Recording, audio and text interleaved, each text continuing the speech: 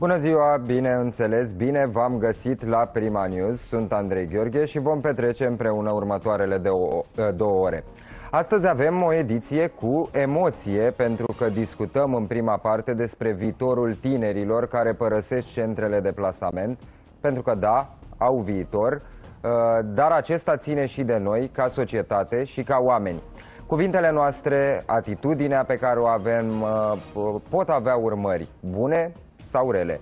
Uh, Iarina Taban, fondatoarea Ajunge Mari, uh, un ONG dedicat copiilor din centrele de plasament, ni se alătură să ne spună despre cum se poate face bine. Și apropo de bine, vedem un material și despre cel mai nou proiect al uh, Habitat for Humanity uh, și pentru că e vară, nu avem cum să nu vorbim și despre turism cu Andra Pascu, care vine cu ponturi. Iar în partea a doua a emisiunii, Costi Mocanu ni se alătură prin Zoom să analizeze meciul de aseară al Naționalei.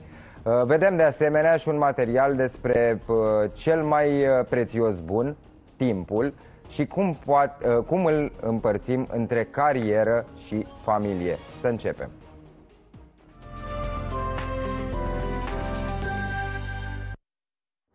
O carieră este o provocare pentru oricine, cu atât mai mult pentru tinerii care au crescut în centrele de plasament.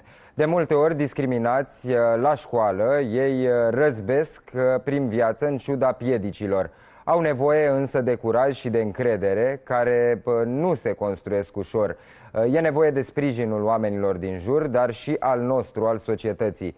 ONG-ul Ajunge Mari încearcă să facă totul mai ușor prin programe dedicate și prin timp și încurajări oferite copiilor de voluntari.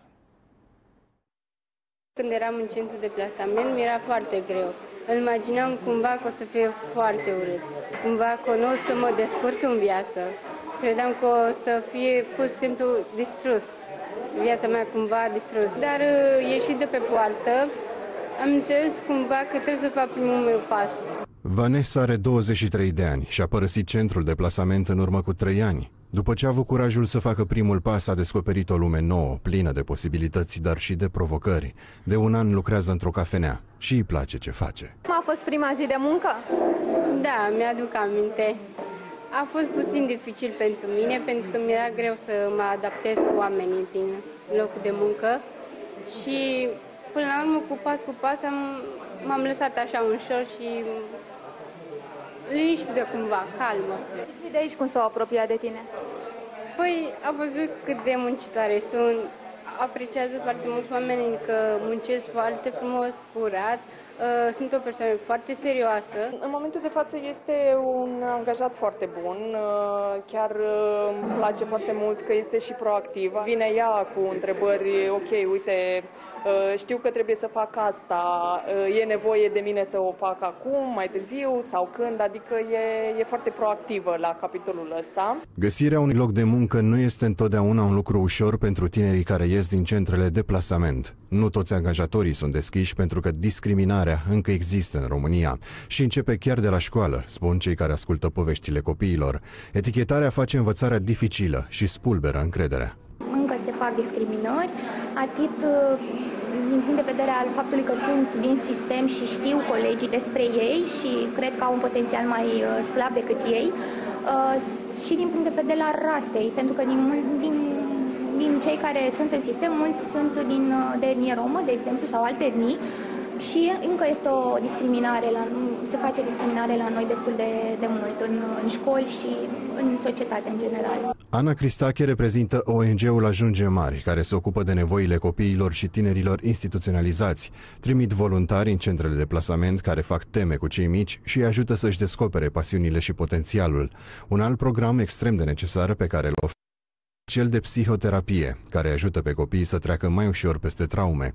Nu lipsește nici orientarea profesională pentru viața de după ieșirea din sistem. Avem și partea de tabere și weekenduri și uh, mentorat, de dezvoltare, uh, tabere de dezvoltare personală și mentorat, în care voluntarii îi ghidează și încearcă să le ofere informații cât mai multe și cât mai utile, respectiv uh, educație financiară, cum să îți faci un buget, cum să-ți cauți chirie, cum să te integrezi în societate și să fii un adult responsabil. Nu sunt deloc lucruri banale și fiecare informație și încurajare contează pentru copii și tineri. Îi ajută să-și alunge teama unui început în care vor fi pe cont propriu. Vârsta medie la care tinerii părăsesc serviciile de protecție este de aproximativ 20 de ani, arată un studiu realizat în 2020 de SOS Satele Copiilor. La momentul plecării, aproape 66% dintre ei nu au un loc de muncă, iar 31% nu sunt pregătiți să-și caute o locuință. Lista riscurilor la care sunt expuși este lungă. Startul dificil în viață nu reprezintă însă o condamnare. Fiecare poate reuși cu brio într-o meserie, fiecare are o vocație, dar nimeni nu poate reuși de unul singur. Tocmai de aceea e nevoie de sprijinul societății. Se pregătesc pentru diverse domenii, nu știu, frizerie, cofetărie, bucătari, uh, IT-ști, cei care vor să-și aleagă meserie. Sunt de asemenea și tineri care sunt uh, dornici și vor să se pregătească uh, într-o carieră și uh, se duc la facultate. Avem angajați la corporații, s-au dus pe, pe sistemul, în, în sistemul ăsta de internship și după aceea și-au dorit să rămână acolo. Ne-am dorit să fie un mediu foarte inclusiv și să, să implicăm și să angajăm persoane din mai multe zone. Vanessa este un exemplu că se poate pentru că a întâlnit oamenii potriviți iubiți, pe cei care au ajutat-o să prindă aripi și pe cei care au dat șansa necesară. Ce ți-a dat cel mai, cea mai multă încredere sau cine? Păi cea mai multă încredere este ca noi, să ne dăm noi în primul rând încredere. Avem nevoie și de oameni care să ne, ne zică poți, ne susțin, care putem să facem de toate. Dar e foarte important să spui că eu pot. Și în toate centrele de plasament din țară, în fiecare casă de tip familial, în grija fiecărui asistent maternal există copii care pot. Trebuie doar învățați să creadă. Despre această temă sensibilă și necesară discutăm în continuare alături de Iarina Tabam, fondatoarea Ajunge Mari. Uh, bună ziua, mulțumesc că ați acceptat invitația. Bună ziua, mulțumim mult pentru susținere. Care sunt lucrurile esențiale pe care trebuie să le știm atunci când vine vorba de integrarea tinerilor care ies din centrele de plasament? Cred că e important să știm că ei au foarte mult potențial. Uh, au poate uneori nevoie doar de un pic de ghidaj la început și de cineva care să-i, să-i îndrume prin situațiile care sunt noi pentru ei fapt, tot ce înseamnă un loc de muncă, relația cu colegii, cu superiorii, situații care apar în fiecare zi. Și um, cred că ar fi grozav pentru ei și asta s-a întâmplat în cazul Vanesei și se întâmplă și în cazul uh, multor tineri, dar din păcate nu pentru toți se întâmplă același lucru, să vorbească cineva cu ei pur și simplu, să îi întrebe cum a fost săptămâna lor și ce, ce a fost mai dificil pentru ei, ce le-a plăcut ce, la ce s-au descurcat mai bine. Pentru că, din păcate, um, se întâmplă de prea multe ori copiii să nu-și dea seama la ce sunt buni, ce le place și să se descopere pe parcurs și să se schimbe poate cariera um, după ce s-au angajat prima, a doua, a treia oară, să-și dea seama ce este mai potrivit pentru ei. Noi de aceea facem, încercăm să facem cât mai mult consiliere vocațională pentru tinerii noștri și să-i însoțim și în primele luni de când s-au angajat. Tinerii care reușesc să se integreze la un loc de muncă vin după aceea să-i ajute pe cei care nu au ieșit încă din centrele de plasament, nu știu, să le dea niște sfaturi despre cum a fost traseul lor și așa mai departe? Se întâmplă, câțiva dintre ei s-au înscris chiar ca voluntari în programul nostru și îi susțin nu doar printr-o întâlnire, ci prin mai multe Programul de voluntariat înseamnă 8, cel puțin 8 luni de implicare săptămânală cu mhm. copii. Uh-huh. Însă, da, au venit și le-au povestit și despre joburile lor, ce înseamnă un loc de muncă și uh, tinerii noștri sunt foarte curioși uh, și au o grămadă de întrebări despre toate aspectele vieții de adult, inclusiv ce înseamnă angajarea, ce înseamnă să te pregătești pentru angajare, ce înseamnă să lucrezi acolo, ce înseamnă viața independentă, cu gestionarea bugetului, cu uh, ce înseamnă să ai o locuință nouă și să fii pe control, pentru că ei au trăit uh, mulți ani doar la comun cu foarte multă lume în jurul lor. Și, și cum comunicăm? un șoc, într-adevăr. Cum comunicăm da? cu tinerii sau cu copiii vulnerabili astfel încât bagajul emoțional să fie ceva mai uh, ușor de dus? Cu un pic de empatie. Trebuie să înțelegem că unele reacții pot să fie cauzate de lipsa încrederii în forțele lor uh, sau uh, pentru că nu știu că sunt buni sau poate din astfel de motive pot să fie mai sensibili atunci când sunt certați pentru un lucru sau altul la locul de muncă, lucruri minore, cum ar fi o întârziere, de exemplu. Ei pot să ia foarte personal și să se dărâme așa toată încrederea în fetele lor. Um, și țin minte o situație în taberele noastre de viață independentă, când o tânără, uh, acolo, acolo ne organizăm uh, ca să înțelegem ce înseamnă să trăim pe cont propriu și facem curânduri la bucătărie, la curățenie și atunci când uh, a făcut o greșeală, a scăpat o farfurie cu mâncare, era ziua ei în bucătărie, ceilalți, uh, colegele mele și ceilalți copii au zis, e în regulă, se mai întâmplă. Și reacția ei a fost să plece plângând uh, în camera ei, plângând în cocote, pentru că nimeni nu i-a zis că e ok. Toți au certat-o. Ea știa că trebuie să fii certată când greșești. Nu știa cum să reacționeze, că cineva i-a spus că e în regulă. Astfel de situații pot apărea. Uh, nu zic că sunt toți la fel de sensibili, dar pur și simplu trebuie să știm că în spatele unui comportament e o cauză și um, abuzurile și uh, poveștile lor dramatice au afectat pe unii dintre ei în, într-un mod care pot avea astfel de reacții și au un pic de nevoie de blândețe și de empatie. Asta este tot. Haideți să vorbim puțin despre ajungem mari. E un proiect care a luat naștere în sufrageria dumneavoastră acum 10 ani. Uh, spuneți-ne de la ce a pornit totul și cum a evoluat uh, proiectul în uh, acești 10 ani. Ajunge mare a pornit de la o vizită într-un centru de plasament în care am văzut nevoia uriașă a acestor copii, erau copii mici în acel centru, de conectare erau copii abandonați de părinții lor uh, și am întâlnit un copil care era atunci uh, abia venit în centru, deci abandonul era foarte recent și el tot ce își dorea, manifestându-se prin plâns și strigat, uh, era o persoană, un adult care să fie alături de el. Și mi-am dat seama că e nevoie de o armată de oameni pentru că sunt mulți copii în această situație și astfel a pornit proiectul care a ajuns acum la peste 10.000 de oameni implicați în București și în 24 de județe. 10.000 de uh, voluntari? 10.000 de voluntari au fost până acum uh, la copii uh, din sistemul de protecție. Au fost peste 3.500 de copii sprijiniți în acest program um, cu foarte multe activități care pornesc de la întâlnirile săptămânale pentru lecții, pentru sau meditații pentru examene, Uh, inclusiv excursii, ieșiri, ateliere de diverse uh, feluri, de la educație financiară, educație pentru sănătate, civică și tot așa, dar uh, și partea asta de viață independentă, consiliere, psihoterapie, coaching, um, vizite de orientare profesională, diferite locuri de muncă, îi însoțim până nu mai au nevoie de noi și îi vedem la casa lor, asta ne dorim, să-i vedem independenți, integrați, cu familia lor și uh, uh, să fie bine cu ei. Bun, care este feedback-ul primit de la copii și uh, de la tineri?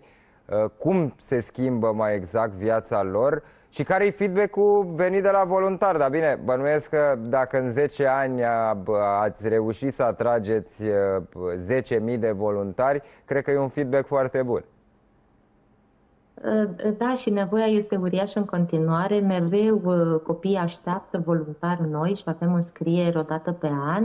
Um, pe cei care vor să se implice, îi rugăm să intre pe site-ul nostru pe www.ajungemari.ro și să găsească un formular de înscriere um, un formular scurt îi vom contacta în toamnă când începem noi recrutarea voluntarilor, care înseamnă un training, bineînțeles, și uh, orientarea lor astfel cât să știe ce au de făcut cu copiii și să facă ce li se potrivească și de ce nevoie copii.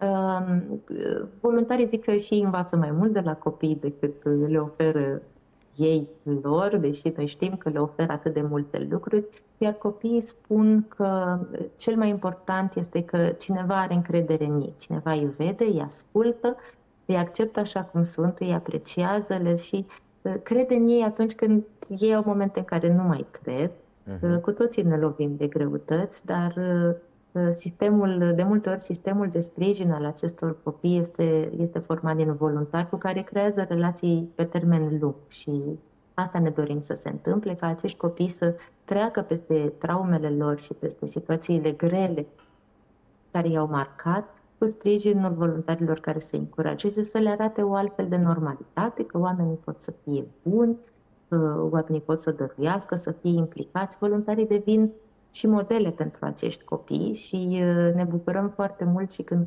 copiii devin la rândul lor voluntari și dăruiesc societății. Pentru că au atât de multe dăruit, au foarte mare, un foarte mare potențial și este atât de mare păcat să se piardă pe drum dacă nu au oamenii potriviți alături. Deci vă așteptăm.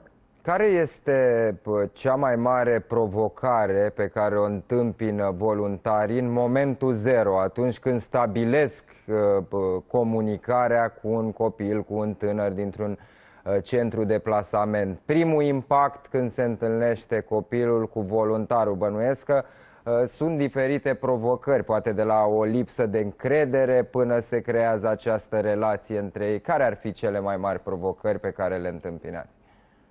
Copiii noștri s-au cam obișnuit acum cu voluntarii. Au fost într-adevăr la început mai multe reacții care veneau din tu cine ești, tu ce mai vrei de la mine, mai vii și data viitoare, pentru că acest sistem în care foarte mulți oameni au venit an la rând în centrele de plasament cu cadouri, au venit și au plecat. Copiii și-ar fi dorit mult ca ei să se întoarcă. Din fericire, sunt mulți voluntari pe care îi întrebăm dacă au mai fost într-un centru de plasament și îi mărturisesc că am fost cu cadouri și am văzut că cei copii mai voiau să mă întorc la ei. Uh-huh. Copiii acum s-au, s-au lămurit că voluntarii ajungem mari vin în continuare și că pot să aibă încredere în ei și acest, această barieră a încrederii cred că a fost deja spartă. Bineînțeles, la început nu sunt la fel de deschiși, dar pe măsură ce văd că săptămână de săptămână voluntarii continuă să vină la ei, um, au toată încrederea în voluntari și, și asta e cel mai important. De aici putem să construim atât de multe împreună, de aici le putem vedea nevoile și dorințele pentru viitor. Care este mesajul pe care ar trebui să-l rețină cei care se uită în aceste momente la noi, cei de acasă?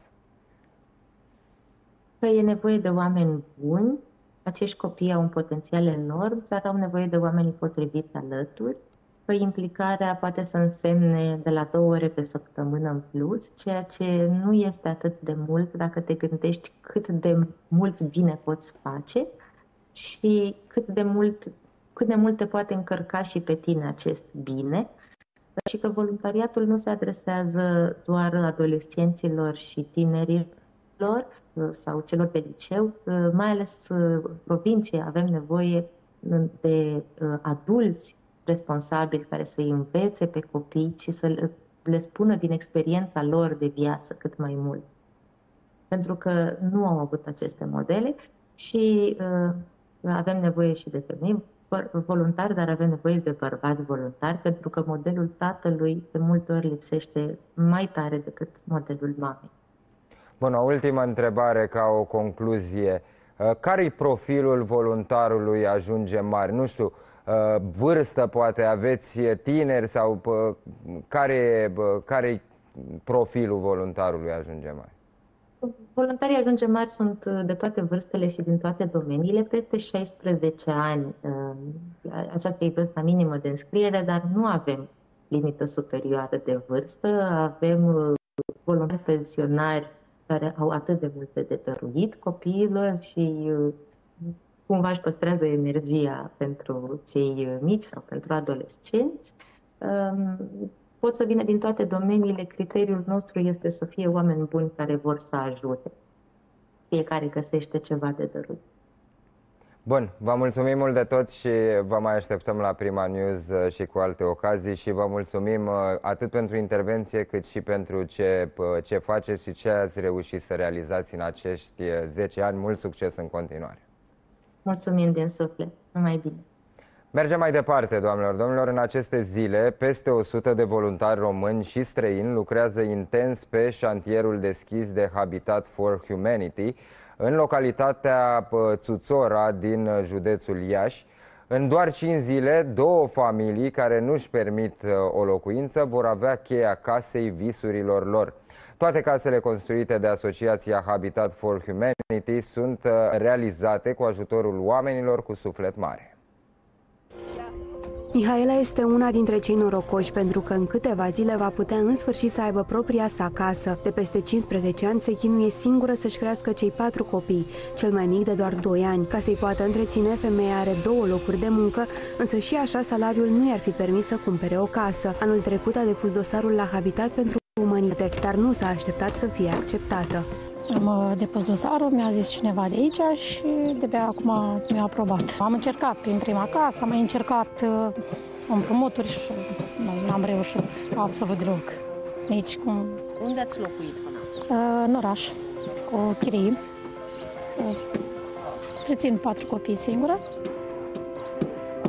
M-ar veni două joburi, unul cu așa ca să pot să mă întrețin și, și copiii, și chiria, plus utilitățile. Mihaela este pe șantierul unde ușor, ușor se construiește visul ei, așa că și ea îi ajută pe muncitori. Oricum, nu ar fi prima dată când lucrează pe un șantier. Am lucrat pe șantierul naval în Constanța, ca sudor și în abator. Alexandra lucrează în domeniul telecomunicațiilor. Tânăra locuiește cu părinții, însă de când a terminat facultatea, visa la un loc doar al ei. Salariul pe care îl primește nu i-ar fi permis niciodată să-și cumpere propria locuință. Este un început, un început în viață. Este startul în viață de care fiecare tânăr are nevoie. Nu venea să cred. Mi-am dorit foarte mult și când m-a sunat această asociație, nu venea să cred. E o speranță și o siguranță, pentru pe care om are nevoie de siguranță. Iar asta reprezintă siguranță pentru mine. Toate sunt scumpe, salariile sunt mici, și na, e foarte greu pentru un tânăr să-și construiască o casă singur de la zero. Alexandra și Mihaela sunt ajutate de voluntari pentru a-și vedea visul devenit realitate. Printre ei sunt și Elena și soțul ei Mohamed. Au fugit din calea războiului din Gaza și România i-a primit în noiembrie. Au pierdut tot ce aveau acolo, însă țara noastră i-a ajutat. Acum vor să întoarcă favorul. Ajutăm pentru că știm ce înseamnă să rămâi fără casă. Am rămas deja fără casă în partea cealaltă. Cei de la Habitat ne-au întâmpinat atunci când am ajuns aici și ne-au ajutat chiar trei luni de zile, ne-au plătit chiria cu cei de la stat care au fost un mic ajutor cât, și ne-am, chiar ne-am dorit foarte mult să, să punem o mână pentru cineva care are nevoie de un acoperiș supra capului. Deși în Gaza era medic și nu a muncit niciodată pe un șantier, Mohamed nu se dă în lături de la tot ceea ce este nevoie de făcut pentru ca ridicarea celor două case să fie cât mai rapidă. Am venit aici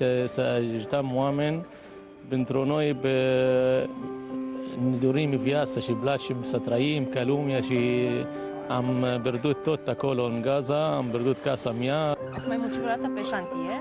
Nu, niciodată, asta prima dată, dar e foarte frumos să ajuți. Greu, nu e? E puțin așa, dar merge. Cei care au venit să dea o mână de ajutor și să lucreze cot la cot cu muncitorii sunt oameni simpli veniți din toate colțurile lumii pentru care voluntariatul a devenit un mod de viață. Până la urmă să ajuți pe alții înseamnă să faci bine și asta ne ajută în principal pe noi. Se lucrează intens și abia așteptăm să vedem fermele sus pe casă ca să mutăm familiile înăuntru. So we came here with, uh, with a team. We're 13 of us from Liechtenstein and we wanted to do something good to help Mihaela and, and Alexandra. Pe șantier este forfotă mare, iar printre voluntari sunt și cei ale căror case au fost deja ridicate, tot prin bunătatea oamenilor. Ne uităm tot timpul la trei criterii, respectiv la urgența nevoii, sunt familii care locuiesc în condiții inadecvate, în condiții grele de viață, apoi ajutăm familii care nu câștigă mai mult de 60% din venitul mediu la nivel național, acesta fiind al doilea criteriu, și ultimul criteriu, al treilea, cel mai important poate, familiile vin și ele pe șantier, pun umărul la construcție, construiesc alături de voluntari voluntari la propriul, la propriul vis, la propria casă. Vineri, Alexandra și Mihaela își vor primi cheile și vor putea începe o nouă viață. După județul Iași, Habitat pentru Umanitate are în plan să ridice și alte case în alte zone ale țării pentru familii care au nevoie de ajutor. O astfel de casă costă aproximativ 55.000 de euro, iar banii sunt strânși doar din donații. Ne pregătim de vacanță, însă trebuie să avem mare grijă la medicamentele pe care le punem în bagaj. Asta dacă nu vrem să dăm explicații la frontieră sau chiar să primim amenzi usturătoare. În Dubai este interzisă intrarea cu pastile ce conțin codeină, în timp ce în Grecia nu este voie nici cu această substanță și nici cu ibuprofen. Asta e pentru rău de avion, nu? Da, da, de rău de avioane. Și termometrul. Așa arată bagajul celor mai mulți dintre românii. Pe lângă haine legere, creme de soare, se strecoară și punga cu pastile. Când plecați așa prin vacanțe, vă luați cu dumneavoastră vreo pungă de pastile? Normal, deja o am în geantă. Din, din toate, pentru, ce, pentru stomac. Chiar dacă nu am avut nevoie de ele, deci trebuie să le am, să fiu pregătită dacă vine vreo temperatură pentru cea mică. Da. Obligatoriu. Pentru tensiune, pentru diabet, pentru osteoporoză. Mihaela își va petrece următoarele zile în Portugalia. Nici din bagajele ei nu lipsește punga cu medicamente în caz de nevoie. Preferă să plece din România cu ele pentru că, de cele mai multe ori, cazarea pe care și-o alege nu este în apropierea unei farmacii. O să iau și de acolo în caz că e nevoie de altceva sau de mai mult, dar pentru o zi, două, tot timpul îmi iau câteva. Nu, nu e, e mult, adică nu am cutii întregi, dar am câteva din fiecare, pentru că stăm și într-un sat care e un pic mai departe. Până la o farmacie s-ar putea să dureze o zi și atunci să ai ceva de prim ajutor. Avem micu, micu atrusă de da, urgență, ceva pastile de burtă, de gât, puține.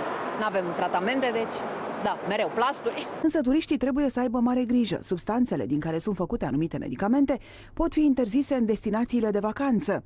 De exemplu, în Grecia nu este voie cu medicamente ce conțin codeină. În Emiratele Arabe Unite, turiștii prinși cu pastile pe bază de tramadol și codeină își pot încheia vacanța chiar în spatele gratiilor. Românii nu văd cu ochi bune aceste restricții. În alte țări se vând la supermarket și în cantități foarte mari. Da, nu știu de ce au luat măsura asta. Sunt anumite medicamente care probabil ar trebui date doar pe rețetă. Aiurea, nu, omul nu și ia decât ce trebuie. Am avut uh, ibu, ibuprofene, dar uh, dacă vine o durere de cap de ceva, trebuie să nu mi se pare chiar că cât minim, trebuie să fie un minim cel puțin de ca să le poți purta cu tine. Farmaciștii vin cu alternative pentru medicamentele esențiale pe care le putem lua cu noi. Pentru uh, medicamentele care conțin o stare de codeină și care este un analgezic folosit în mod normal, uh, să se ia o altă variantă de antiinflamator care să nu conțină sarea de codeină, iar uh, pentru partea de decongestionante, eventual să se folosească un decongestionant local, un spray, să se evite produsele care au psoedefedrină și acelea sunt uh, destul de verificate și au mai fost cazuri controversate legate de ele. Antibioticele ar fi bine să nu le avem pentru că se pot confisca. Reprezentanții Ministerului Afacerilor Externe recomandă că atunci când plecați în vacanță să aveți cu dumneavoastră doar medicamentele strict necesare. Mare atenție, dacă aveți de urmat un tratament cu anumite medicamente, este important să aveți și rețeta eliberată de medic pentru acel tratament. Numai anul trecut România au cumpărat medicamente fără rețetă de peste 400 de lei de persoană. Începutul verii vine cu o vreme perfectă pentru gândurile noastre de vacanță. Nici prea cald, nici prea frig. Timp să avem. Pentru doritori există un ghid cu cele mai accesibile locații din România și Europa. Ambele oferă destinații de top. În țara noastră, litoralul și muntele sunt uh, la putere datorită peisajelor și a evenimentelor care se desfășoară în permanență, în timp ce în Europa, orașe precum Londra, Paris și Praga sunt preferate de călători din întreaga lume. Pentru turiștii străini, dar și români, țara noastră a devenit o destinație de vacanță din ce în ce mai atrăgătoare. Plajele frumoase și atmosfera vibrantă de pe litoral, cât și peisajele naturale spectaculoase și atracțiile istorice atrag pe toată lumea. De-abia a început vara, dar cum era de așteptat, litoralul este în topul preferințelor când vine vorba despre destinațiile de vacanță. Nici muntele nu se lasă mai prejos. Brașovul este un adevărat competitor pe lista de preferințe a românilor. De la an la an, numărul vizitatorilor crește constant constant, iar printre cele mai vizitate orașe din țara noastră, bineînțeles, capitala este la loc de cinste. Foarte mulți turiști care doresc liniște, care doresc tradiția, aleg turismul uh, rural, România e chiar foarte dezvoltată la acest capitol, fiind chiar uh, în ultimii 20 de ani în top 10 european și aici pot să dau câteva exemple. Bran Moice Fundata, care constituie practic epicentrul turismului rural românesc și de aici s-a și pornit, Bucovina, Maramureș, Mărginimea Sibiului, Oltenia de Submunte, mulți Apuseni, Neamț și multe, multe alte zone. Firește separat, mulți turiști merg în delta Dunării. În Europa, destinațiile de top continuă să fascineze turiștii din toate colțurile lumii. Londra, cu istoria vastă, Parisul, orașul luminilor, dar și alte destinații oferă experiențe de neuitat. Deși uh, a existat acest uh, fenomen al uh, Brexitului, Londra cucerește prin atmosfera glamour care domină uh, acest uh, oraș, spiritul uh, londonez, uh, urmat de Paris eternul și îndrăgostitul uh, Paris, locul 3 se află Roma, pentru că, nu așa, toate drumurile duc la Roma, cea mai romantică destinație a Europei, Praga. Plimbarea seara pe uh, străduțele intime pline de romantism, cu restaurantele uh, cehe. Pentru foarte mulți turiști, ofertele culinare sunt esențiale în alegerea destinației de vacanță. Turiștii gurmani sunt încântați să descopere delicatesele locale. Un clasament recent arată că printre cele mai vizitate orașe pentru atracțiile sale culinare este Napoli, urmat de Lima și Beijing. Printre locațiile din afara Europei, Singapore, orașul care nu doarme niciodată și este în permanentă evoluție, este la mare căutare. Apoi, Bali, definiția frumos Mosului și locul perfect pentru relaxare. Oferă plaje cu nisip auriu și peisaje desprinse din basme. Despre vacanțe vorbim în continuare cu Andra Pascu, consultant în turism. Bună ziua! Bună ziua și bine v-am găsit! Andra, rămâne, rămân Grecia și Turcia destinațiile preferate de vacanță ale românilor în această vară sau ce alte țări mai sunt în top? Absolut, iată că suntem în primul weekend oficial de plin sezon de vară, au luat și copiii vacanță, toate familiile deja se pregătesc de vacanța de vară. Și, bineînțeles, Grecia, Bulgaria, Turcia rămân principale destinații pentru sezonul de vară, pentru că sunt foarte aproape de noi, da? e vorba de fie un zbor de o oră și jumătate, maxim două ore, fie un drum cu mașina în funcție de destinația pe care o alegem și atunci normal că ne putem bucura de proximitatea acestor destinații frumoase de vacanță, așa că pentru vară cu siguranță mulți români se vor îndrepta spre aceste zone. Bineînțeles că au și foarte multe alte opțiuni pe lângă asta, dar intuiesc că un procent destul de mare dintre români se va îndrepta spre Grecia, Turcia, Bulgaria pentru vacanța de vară. Tu ai străbătut uh, lumea în lung și în lat, uh, poți veni cu recomandări. Uh, să începem cu destinațiile potrivite pentru familii.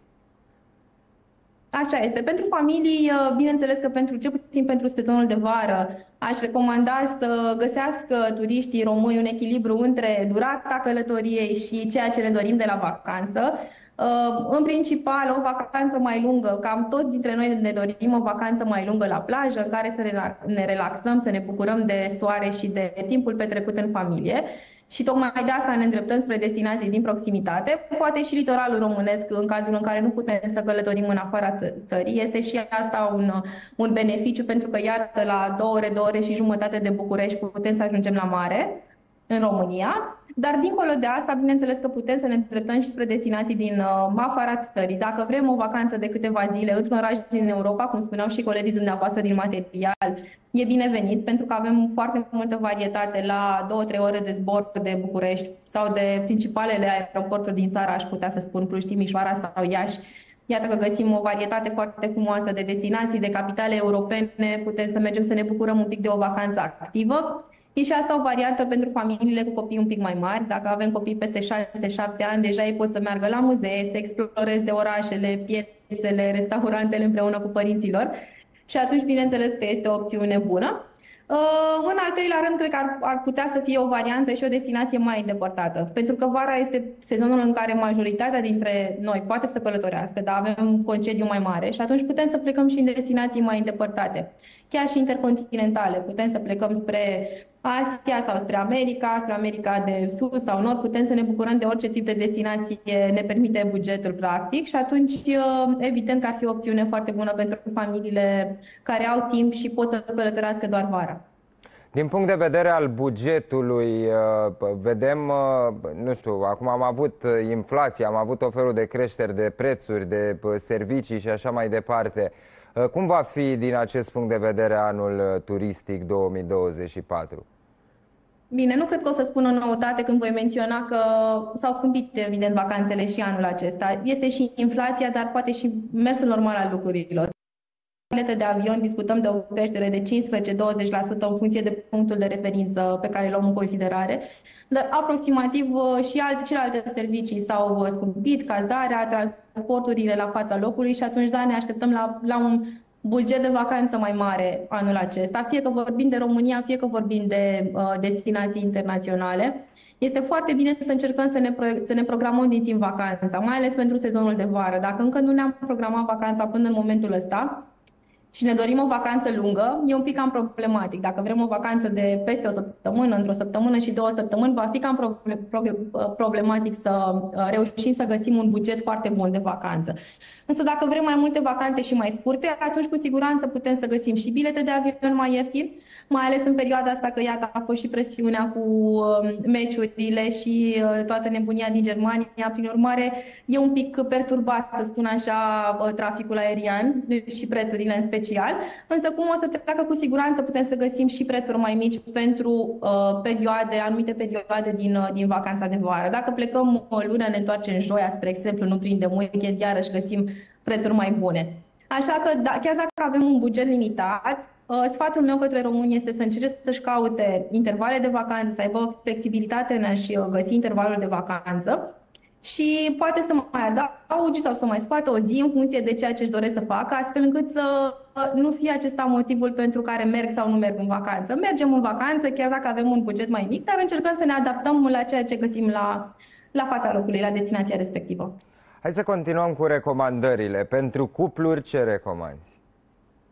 Uh, pentru cupluri, în, în principiu, destinațiile de vară uh, întotdeauna sunt cele din proximitate, pentru că ne dorim să petrecem mai mult timp la, uh, uh, în vacanță. Da? Și atunci, uh, dincolo de uh, partea aceasta de uh, mare plajă, bineînțeles că cuplurile au posibilitatea să și exploreze capitalele europene, poate orașele mai romantice, poate orașe, nu știu, unde nu este la fel de cald. Dacă vrem să fugim de căldură și de o vară toridă, plecăm spre nordul Europei. Cuplurile au posibilitatea să se bucure de tot ceea ce le oferă orașele acestea fără să țină cont de programul unui copil. Da? Și atunci pot să meargă liniștite spre nordul Europei, spre Oslo, Copenhaga, unde temperaturile sunt prietenoase și nu suferă neapărat de uh, caniculă. Uh, cu siguranță, dacă au mai mult timp la dispoziție sau dacă uh, uh, timpul de călătorie le permite, pot să opteze pentru bilete de avion spre uh, destinații intercontinentale, pot să meargă spre insule precum Maldive, dacă vor o vacanță romantică, de ce nu, sau Mauritius, Seychelles, Vremea este foarte bună, uh, apa este spectaculoasă, apă de un albastru spectaculos. Și atunci e o destinație foarte bună pentru cuplurile care vor o vacanță romantică și mai puțin o vacanță activă. Uh, de asemenea, e o perioadă foarte bună de explorat și capitalele intercontinentale capitale. Dacă vrem să mergem în uh, New York, spre exemplu, sau în alte capitale similare la, uh, de pe alte continente, cu siguranță este o perioadă foarte bună pentru că uh, orașele nu sunt la fel de pline în perioada verii. Spuneai de oameni care preferă vacanțele active și aici m-aș duce poate către tineri. Unde se pot distra tinerii? În ce orașe sunt în topul distracției în acest sezon? A, Europa este sufletul distracției, mai ales că avem cele mai mari petreceri de vară în Mykonos și Ibiza. Sunt foarte mulți uh, tineri care deja și-au programat vacanțe de 3, 4, 5 zile, nu sunt perioade foarte lungi. Mergem chitit spre Ibiza sau spre Mykonos pentru câteva seri de petreceri la rând. Cluburile de acolo au uh, petreceri până dimineața și apoi after party până la 11-12 ziua. După aceea rămânem pe plajă și tot așa. Asta, da, într-adevăr, e o vacanță activă de distracție. Uh, și din punctul ăsta de vedere s-au remarcat într-adevăr, cum spuneam mai devreme, Mykonos și Ibiza, cred că sunt capitala, capita, capitalele distracției din, uh, pentru europeni cel puțin. Uh, dacă te referi, în schimb, tot la vacanțe active, dar ne gândim și la vacanțe unde putem să facem hiking sau trumeții, pentru că tot un fel de vacanță activă da, și asta, da, chiar dacă nu la petreceri până dimineața, atunci putem să ne îndreptăm și spre alte insule, cum ar fi Madeira sau Algarve, insule Tenerife, unde poți să faci hiking uh, cu view-uri spectaculoase asupra mării, oceanului. uh, și așa mai departe. Hiking chiar și de câteva zile, dacă timpul îți permite, de ce nu, să pleci cu cortul și să faci un traseu mai lung. E o perioadă foarte bună în care să te poți bucura de tipul ăsta de vacanță în Europa, iar zborul, cred că tot cu escale, un 4-5 ore legat ar uh, ar însemna o distanță destul de scurtă pentru români. Bun, vă mulțumesc uh, pentru, p- pentru intervenție și în cazul în care p- nu ați stabilit încă vacanța, vă doresc vacanță plăcută pentru când o să, uh, o să aveți. Perfect. La fel și eu le urez telespectatorilor dumneavoastră. Zi frumoasă! Zi frumoasă, mergem și noi mai departe și dacă de obicei românii preferă pachetele în străinătate, mini-vacanța de Rusali a umplut plajele litoralului românesc. În Mamaia au rămas libere doar camerele cele mai scumpe, cu prețuri astronomice. Pachetele atractive, cu cazare și bă, masaje de relaxare ori terapii, s-au vândut ca pâinea caldă. Estimările arată că 80.000 de oameni sunt uh, la sfârșitul acestei săptămâni pe litoral. Mini-vacanța de Rusalii începe vineri pe 21 iunie și ține până luni pe 24. Vor fi patru zile de distracție la mare, iar românii au rezervat cam tot ce era bun și avantajos. Prețurile variază în funcție de stelele hotelului. Încep de la câteva sute de lei și pot ajunge și până la 2500 de lei, un sejur de trei nopți. Încep de la uh, 128 de lei în sudul litoralului la un hotel de 2 stele, în timp ce în Mamaia prețurile sunt în jur de 300-310 lei pentru o cameră pentru două persoane la un hotel de 3 stele. Cererea este foarte mare, ne așteptăm ca în următoarele zile să crească foarte mult, având în vedere că copiii vor fi deja în vacanță. În acești bani, hotelurile de 4 stele oferă 3 nopți de cazare cu pensiune completă, terapii în cadrul centrului spa, accesul inclus la piscina interioară cu duș emoțional și cervical sau saună umedă și uscată. În aceiași bani intră și accesul pe plaja privată cu șezlong, umbrelă și măsuță. Ca niciodată, hotelurile de 4 stele au fost primele care au epuizat camerele pentru rusalii. Noi am avut pentru Rusalii prețuri începând de la 330 de lei pe cameră pe noapte cu mic dejun inclus. În acest moment hotelul este rezervat aproximativ de 90% din locuri. Temperaturile ridicate din ultima vreme și ofertele bune la cazări îi determină pe românii care nu și-au făcut încă planul de vacanță să-și rezerve sejururi pentru acest sezon în hotelurile de la Marea Neagră. Cele mai multe rezervări făcute în această perioadă sunt pentru lunile iulie-august, având o durată medie a sejurului de 4-5 nopți și o valoare medie a pachetului turistic de 2408 lei. În ultima săptămână vedem un ritm accelerat al uh, solicitărilor de rezervare pe litoralul nostru. Uh, Înregistrăm o creștere cu 40% comparativ cu aceeași perioadă a anului trecut. În momentele de vârf uh, înregistrăm uh, o solicitare odată la 10-12 secunde. În aceste condiții, cu un mare aflux de turiști pe litoral și cu o temperatură excelentă de vară, weekendul de Rusalii se anunță minunat. Cum vi se par prețurile în această perioadă? Uh, destul de rezonabile. Da, rezonabile, pentru că am făcut rezervarea din timp. Prețurile spiperate cu cât trece timpul, cu atâta se piperează din ce în ce mai tare. Dar ce să facem? Asta e, ne conformăm. Cele mai aglomerate stațiuni de pe litoral sunt în acest weekend Mamaia, Eforie și Venus. Delta Dunării a devenit în ultimii ani una dintre destinațiile turistice populare din România. Tot mai mulți turiști vizitează acest colț uh, unic de natură care a început să, se, uh, să concureze serios cu destinațiile de top din alte țări. Peisajele spectaculoase, biodiversitatea impresionantă și experiențele autentice îi atrag pe oaspeții români, dar și pe străini. Delta Dunării, una dintre cele mai mari și mai bine conservate delte din Europa, este o bijuterie naturală care oferă o combinație unică de canale, lacuri, păduri și plaje sălbatice. Peisajele de vis au devenit în ultimii ani o mare atracție pentru iubitorii de natură, care aleg tot mai des să-și petreacă vacanțele aici. Cerința uh, turiștilor de a veni în Delta a început să fie din ce în ce mai mare încă din timpul pandemiei, când știm foarte bine că am avut uh, granițele închise și tot mai mulți români au decis să își viziteze țara, vin să se bucure de aceste peisaje superbe, de mâncare bună și de ce nu de liniște alături de cei dragi. Dezvoltarea infrastructurii turistice a fost unul dintre factorii care a contribuit la creșterea interesului pentru Delta Dunării. E o destinație exotică aproape de casă și ar fi păcat, fiind atât de accesibilă, să nu o viziteze măcar o dată. Uh, nu doar natura este ceea ce o face specială, ci și flora și fauna. Um, și mai mult de atât, liniștea pe care o găsim aici. În ultimii ani, în Delta s-au făcut investiții semnificative. Au apărut multe resorturi care le oferă turiștilor aproape tot ce-și doresc. Se pot bucura, desigur, de excursii cu barca pe canale, uh, de ser la cinematograf în aer liber sau în cinematograful indoor, piscină, avem o sală de fitness, avem un centru spa cu jacuzzi, uh, și două ciubăre. Pescuitul sportiv și exploatarea satelor tradiționale sunt alte experiențe de neuitat pe care le pot trăi turiștii în Delta Dunării. Deci aici a fost unul dintre cele mai mari puncte de colectare a peștelui, sau chiar cana, cum îi spunem noi. De ce era una dintre cele mai mari? Pentru că pe vremea comunismului, când era prohibiția generală la pește, toți pescarii erau obligați din delta să vină aici la Sfântul Gheorghe să pescuiască la Splumbie. Mulți turiști români, dar și străini, preferă să viziteze Delta Dunării în locul altor destinații populare din Europa sau chiar de pe alte continente. O experiență minunată, este un loc uh, deosebit, uh, toată delta este deosebită. Uh, m-am bucurat la maxim de aceste zile minunate, am reușit să mă relaxez și să mă deconectez de gândurile de zi cu zi. Este un loc pe care cu siguranță îl recomand tuturor oamenilor care vor să se relaxeze și să să se deconecteze. Am fugit de aglomerația din oraș să ne refugiem la liniște. Este foarte multă verdeață și e foarte multă liniște și mi se pare că locul s-a dezvoltat foarte, foarte mult în, în ultimii ani. Prima dată când am ajuns în Belte, ne-am dorit atât de mult și am venit foarte fain aici. Seara aveam totdeauna spectacol, ne-am simțit minunat. Mai ales seara a fost spectacol de folk. Ce să zic, super. Am fost uh, cu barca pe canale foarte interesantă experiența, deși în primă fază mi-era foarte frică pentru că nu știu nici să not și nu îmi place nici să merg cu barca, dar uh, a fost o experiență pozitivă până la urmă.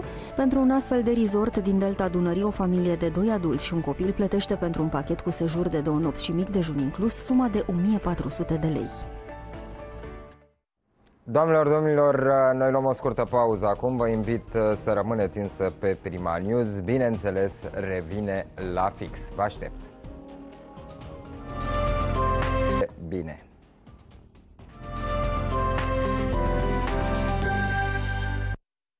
Viața aglomerată și mereu pe fugă împiedică pe părinți să petreacă timp cu copiii lor. Adulții alocă în medie 3 ore pe zi pentru cei mici, conform studiilor. Și mai importantă este însă calitatea timpului petrecut cu ei și activitățile pe care le fac împreună. Specialiștii spun că lipsa de atenție poate face pe cei mici să se refugieze în dependențe, cum ar fi cea de tehnologie sau chiar de substanțe interzise. Indiferent de vârstă, au nevoie de foarte multă atenție din partea părinților. Studiile arată însă că în țara noastră nu mulți sunt cei care înțeleg necesitatea unei conexiuni cu cei mici. Am lucrat cu niște adolescenți, erau vreo 20 și ceva de tineri de clasa 10-a și a 11-a um, și i-am întrebat uh, care este timpul petrecut pe ecranele lor. Um, am rămas șocat, practic nicio statistică nu surprinde treaba asta, undeva între 6 și 8 ore pe zi petreceau doar pe TikTok și Instagram nu mai zic de restul. Uh, și când? Când erau acasă, deci erau cu părinții. Teoretic ăla este timp petrecut împreună. Unul din doi părinți spune că petrece între 3 și 5 ore zilnic cu copilul. Unul din 5 alocă doar între una și două ore, în timp ce 4% spun că nu au deloc timp pentru copii. Și da și nu. Și da și nu. De ce da și de ce nu? Păi da, na, că e normal ca părinte să așa și nu că, na, servicii, mai sunt și alte treburi de rezolvat și cam asta. Cam uh, două, trei ore pe zi. Dacă nu reușesc în fiecare zi, la un moment dat îmi fac timp într-un weekend să recuperez cumva, să stăm poate o zi împreună, să mergem la activități împreună. Uh, știm cu toți, na, viața câteodată e aglomerată.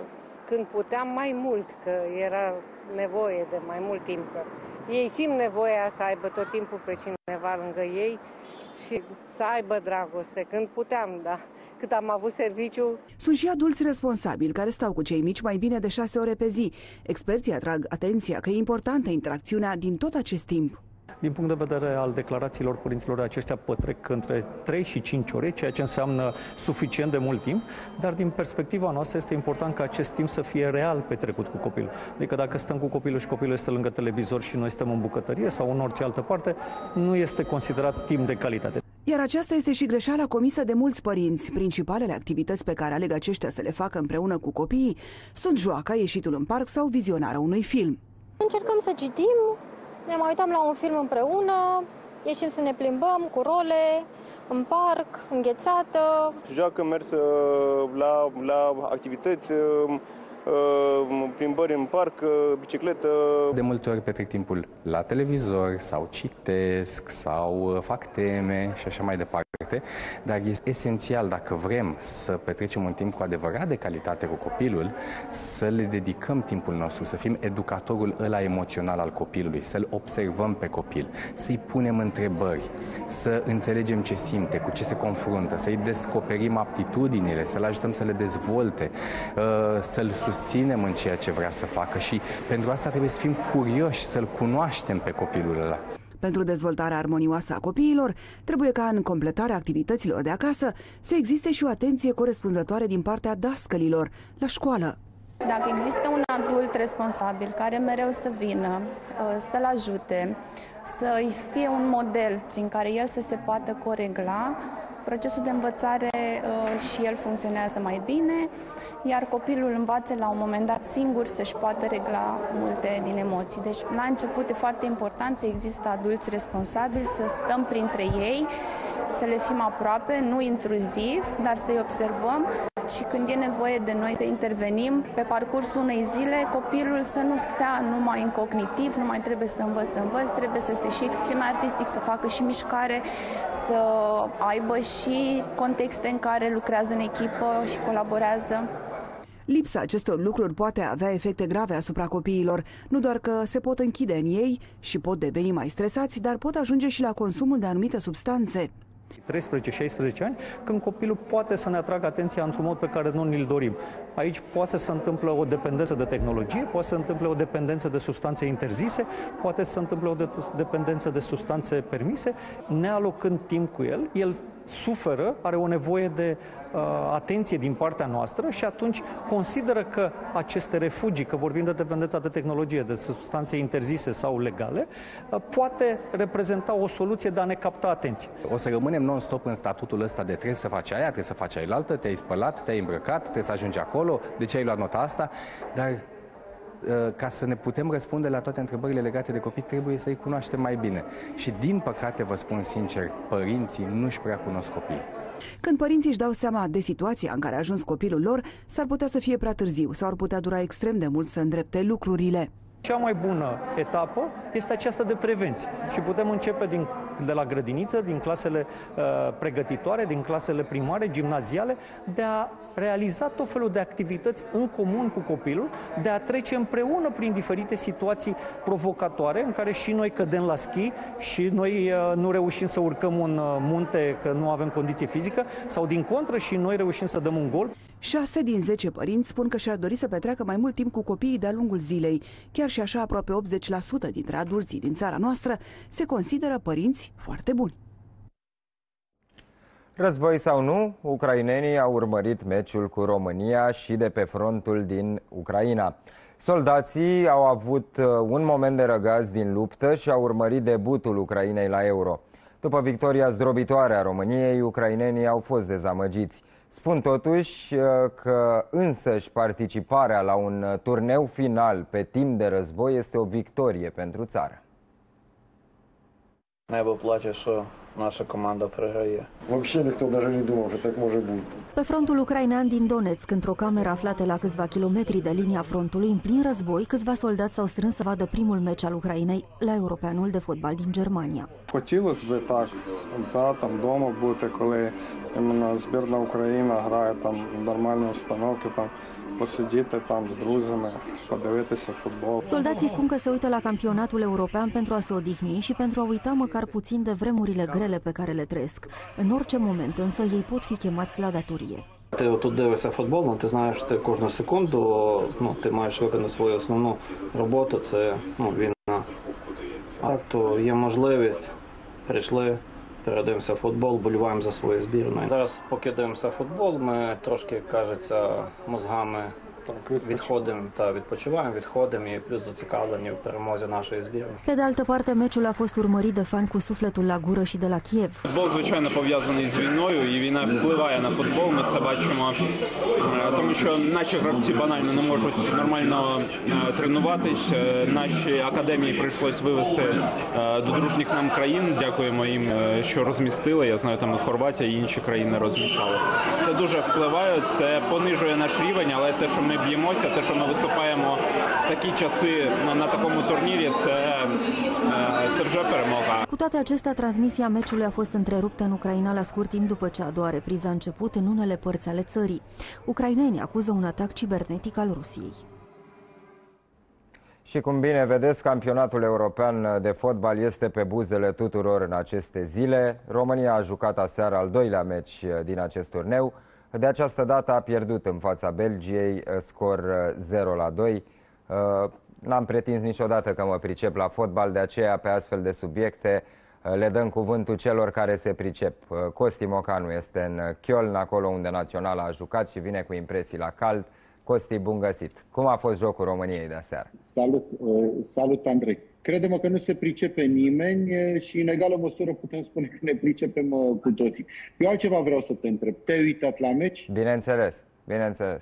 E, uite, vreau să spun că dincolo de scor și de calificare în optim și de puncte strânse și așa mai departe, eu spun că uh, principalul câștig al echipei naționale și al fotbalului și al României ca țară după acest campionat uh, european, uh, ăsta este. I-a făcut pe unii ca tine, care nu au niciun fel de legătură altă cu acest uh, joc, să vină și să se alăture valului galben, așa cum uh, am fost numiți uh, noi suporterii români aici în uh, Germania.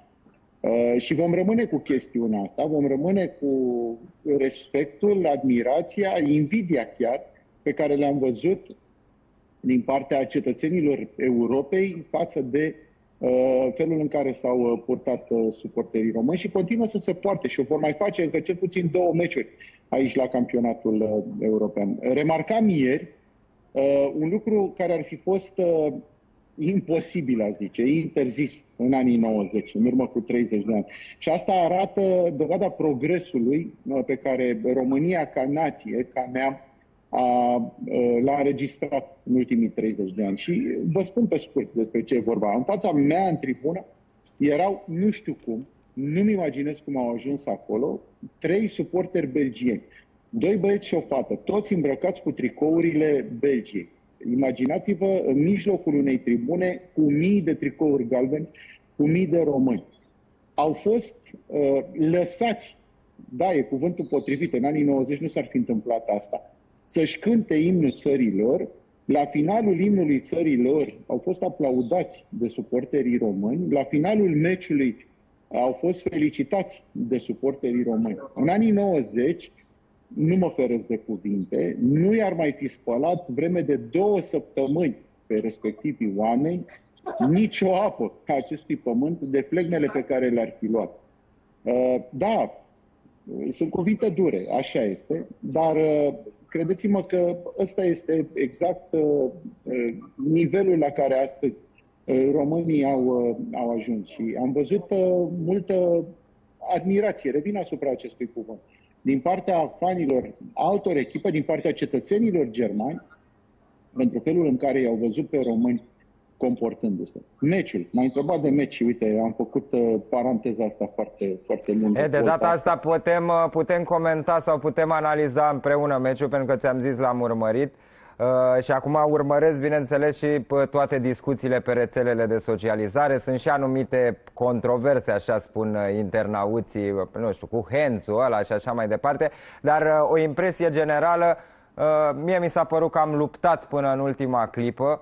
Am avut un portar foarte bun, uh, Niță p- și-a arătat uh, valoarea de p- portar foarte, p- foarte buniță aseară, cel puțin uh, ți-am zis uh, cum, uh, cum am Nița a reușit. fost mereu, să știi, Nița a fost mereu un portar realmente excepțional.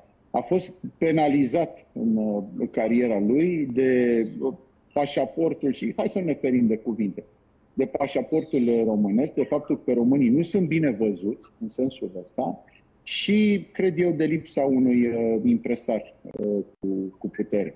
De uh, faptul că uh, România, ca imagine, nu este bine cotată în, uh, în Europa și în lume. Pentru că Niță ar fi putut, fără niciun fel de problemă, să joace la oricare din marile, marile, atenție, cluburi ale acestei uh, lumi. Este un băiat a cărui poveste de viață îi uh, invit pe toți oamenii să, să, să o cunoască, să o citească. Căutați, dați în Google search uh, povestea de viață a lui Floriniță. Este un exemplu fabulos. Poți să scrii o carte și este povestea de viață a milioane și milioane de, de copii ai, uh, ai acestei țări, dar care, uh, Niță, spre deosebire de ei, de mulți dintre ei, a reușit să se rupă, a muncit ca un apucat, ca nimeni altul și și-a făcut un drum în viață. Uh, vă spun, căutați povestea de viață. Aveți ce citi și aveți ce învăța din, uh, din această lectură. Dați-mi, Costi, cum ai văzut meciul? Am fi putut obține mai mult? Nu. Nu, și să fim corecți. Oh, mi-e, mi și greu să spun uh, cuvintele astea așa. Uh, N-ar fi fost corect să obținem mai mult, pentru că valoarea noastră asta este. Nu pentru că jucătorii noștri nu ar avea calități, dar sunt jucători care n-au făcut școala așa cum trebuie, mulți dintre ei. Uh, Lumea îl critică pe Bancu. Hai să nu uităm că Bancu s-a apucat de fotbal la 18 ani. Da? Până la 18 ani, Bancu a jucat fotbal pe uliță, exact pe uliță, pe stradă, așa cum uh, mulți dintre noi au, uh, au făcut-o. El n-a avut parte de școală fotbalistică, așa cum au adversarii noștri de astăzi, care au cheltuit mulți bani pentru a avea aceste școli fotbalistice. Dar uh, emulația construită, provocată de această participare frumoasă a naționalei noastre la campionatul european, sunt convins că îi va determina pe și mai mulți părinți, pe și mai mulți copii, pe și mai mulți investitori să vină către, uh, către sport. Hai să ne uităm puțin și pe uh, cum arată grupa în momentul de față. Situația pare că se complică în, în uh, grupă. Toate echipele au câte trei puncte. De ce rezultat am avea nevoie în ultima etapă ca să ne calificăm? Ca să fim foarte siguri, uh, foarte, foarte, foarte siguri, uh, egal sau, uh, sau victorie. Nici cu înfrângere nu e, nu e sigur că ne vom întoarce în țară. Uh, Cele mai multe șanse sunt ca România să ajungă să joace optimile de, de finală, ceea ce, uh, având în vedere uh, valoarea campionatului nostru, e o performanță colosală. Păi bun, și cum vezi meciul cu Slovacia? Putem câștiga? Eu mi-aș dori următorul lucru, decât să vedem un meci uh, amical între două formații, ambele avantajate de un rezultat egal, cu, chiar dacă nu ne-am calificat, a, aș vrea să-i, să-i văd luptând ca să câștige și accept ca la capătul meciului să fie un frânt. Asta însemnând tratarea posibilă a calificării. Dar mi-aș dori să văd eliminată, odată pentru totdeauna, mentalitatea de șupeală, mică înțelegere, de plat cu care fotbalul nostru s-a confruntat uh, de, de, de foarte mulți ani. Uh, ar, ar fi o sănătate frumoasă, curată, morală a, a, a jocului acesta. Repet, chiar și cu riscul de a rata calificarea, eu mi-aș dori ca Naționala să joace la victorie, înțelegând că la capătul jocului ar putea să pierdă. În meciul de aseară cu Belgia am observat uh, cu toții diferența între repriza 1 și repriza a doua. Uh, Mi s-au părut uh, mult mai bătăioși uh, băieții noștri în, uh, în repriza a doua. S-a văzut clar o, uh, nu știu, o uh, regândire a strategiei și o luptă mult mai uh, puternică. Și s-a văzut asta inclusiv în posesie și așa mai uh, departe. Cum ai văzut repriza a doua? Aveam nevoie de gol uh, pentru a egala și e normal că planurile se schimbă. Care Mike Tyson, o vorbă celebră, excepțională, toată lumea are un plan atunci când intră în ring până când primești primul punct de la adversar. E, atunci tot planul tău se dă peste cap. Cam asta s-a întâmplat cu noi. Planul nostru s-a dat peste cap în momentul în care primul pumn al adversarului a venit după mai puțin de două minute de joc. Uh, și e greu să schimbi lucrurile pe parcursul meciului, de aceea pauza a adus uh, clarificări, uh, schimbări de ordin tactic în echipă, mai multă încredere, cuvinte venite cu siguranță din partea lui Eduard Iordănescu, care le-a spus ok, sigur că putem pierde acest meci, de altfel nici nu ne făcuserăm foarte mari speranțe. Și vreau să mai remarc un lucru. A fost printre puținele dăți în istoria fotbalului din România când noi nu am jucat la totul sau nimic. Puteam obține totul, dar cuvântul nimic era total exclus în meciul de ieri. Pentru că mai aveam și avem în continuare varianta meciului cu, cu Slovacia. Și da, evident că au jucat cu mult mai multă încredere, pentru că altfel nu, nu puteau să, să meargă să marcheze.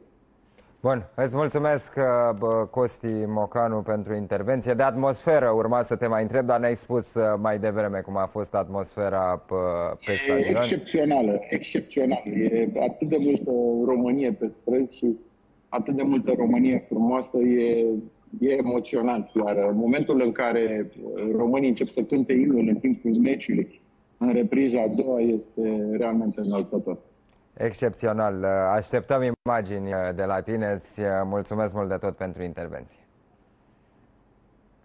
Mergem mai departe, doamnelor, domnilor, și schimbăm registrul. Broadway și-a încoronat cei mai buni artiști din teatrul american. Comedia muzicală The Outsiders și piesa de teatru stereofonic au fost mari câștigători la gala premiilor Tony. Uh, actorii de la Hollywood au câștigat și ei distinții, printre care Angelina Jolie și Daniel Radcliffe.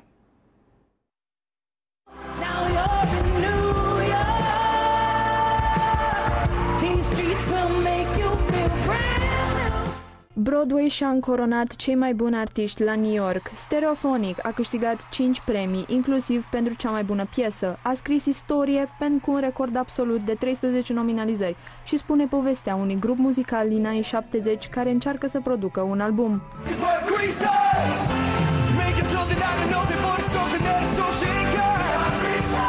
The Outsiders a fost desemnat cel mai bun musical și a obținut alte trei trofee după ce a primit 12 nominalizări. The Outsiders prezintă conflictul de clasă între două bande de liceeni din Oklahoma anilor 1960. Angelina Jolie a câștigat primul ei premiu Tony pentru producția spectacolului The Outsiders. Ea a participat alături de fica ei, Vivian, în vârstă de 15 ani. Cele două au atras toate privirile pe covorul roșu. Society changes, but the experience of being an outsider is universal. And the Tony Award goes to Charlie Kringus himself, Daniel Radcliffe! Și starul din Harry Potter, Daniel Radcliffe, a câștigat primul său premiul Tony în cadrul ceremoniei. A câștigat premiul pentru cel mai bun actor într-un musical pentru rolul său din Merrily We Roll Along. This has been one of the best experiences of my life. Thank you for thinking of me for this. This is just, it's been unbelievable. Teatrul rămâne popular în rândul publicului de la New York. În sezonul 2023-2024, 90% din locuri au fost ocupate, cu peste 12 milioane de bilete vândute. Andreea Berecleanu a fost premiată la gala Viva 25 de ani. I-a fost uh, astfel recunoscută contribuția avută în industria media în acest sfert uh, de secol. Oricât de important ar fi cariera, nu uitați de familie, a fost mesajul transmis de prezentatoarea Focus 18. Andreea a invitat-o pe scenă și pe fica ei, pe Eva. jobul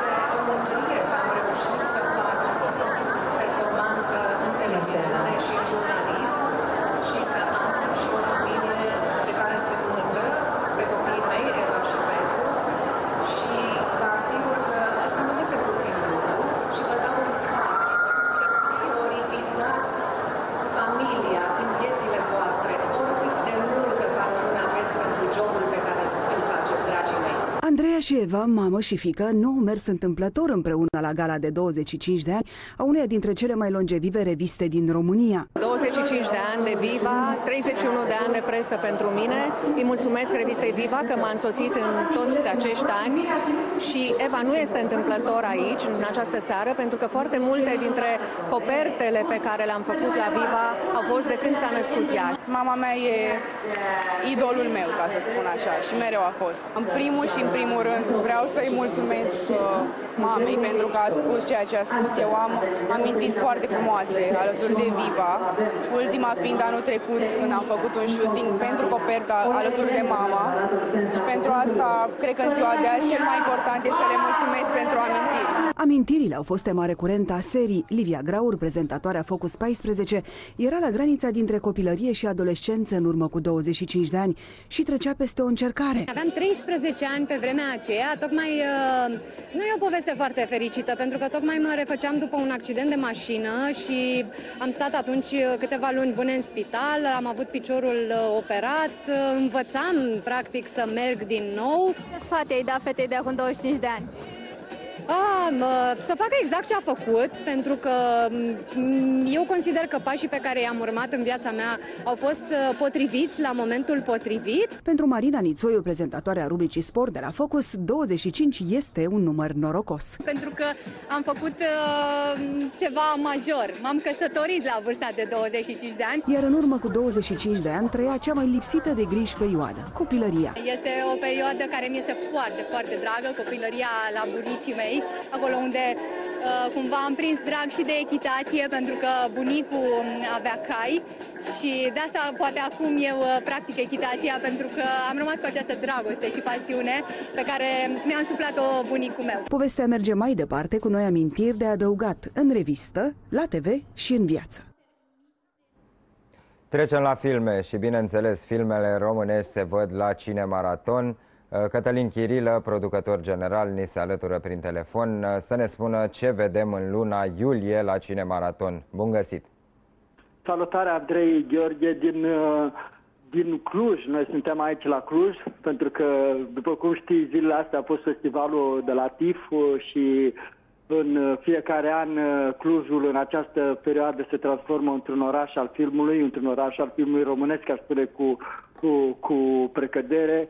Uh, pentru că toată lumea se întâlnește, ne întâlnim cu actori, cu regizori, cu producători, lucruri care contează în uh, vederea uh, următoarelor surprize pe care noi le pregătim pentru Cinemaraton. În ceea ce privește întrebarea ta punctuală, avem tot o chestiune legată de Cluj. Pe 25 și pe 26 iunie, două zile și două nopți uh, dedicate maestrului Dorel Bișan, care face o vârstă, care plinește o vârstă extraordinară, spunem 87 de ani, că nu e niciun secret și sunt două zile de bucurie pentru că mă putea să revedem majoritatea filmelor în care a jucat, dacă nu chiar toate, și aș da câteva uh, titluri pentru telespectatorii noștri senatorul Mercilor, Iacob, în regia lui Mircea Daneliu, ca aș uh, aminti filmul cel mai iubit dintre pământeni, care joacă un rol extraordinar al Gardianului Dumnezeu, film uh, regizat de către Șerban Marinescu.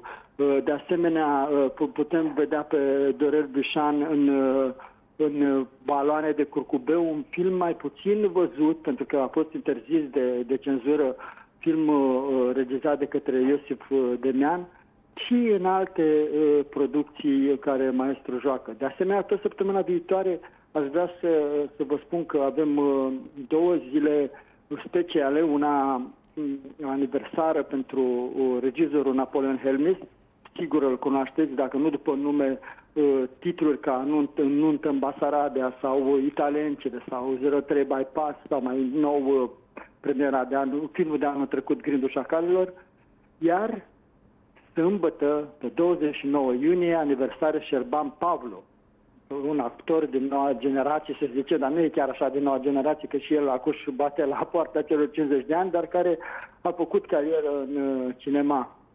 Cam asta ar fi ceea ce am pregătit.